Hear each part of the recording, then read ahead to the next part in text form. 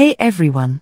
Today, I'm going to show you a quick and easy fix if your Discord images and icons aren't loading. So, let's jump right into it. First thing you want to do is open the Run dialog. So, click on the search bar at the bottom left corner of the screen. And then search for Run. And then select it from the results. Next, you'll want to paste this command into the Run box. After you click OK, a File Explorer window will open. Look for a file named Hosts. This is the file we need to work with. Now, what you want to do is rename this file.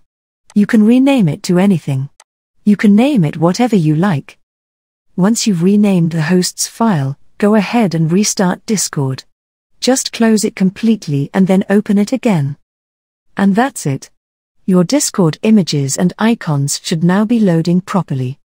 If you found this video helpful, give it a thumbs up and subscribe to our channel for more tech tips.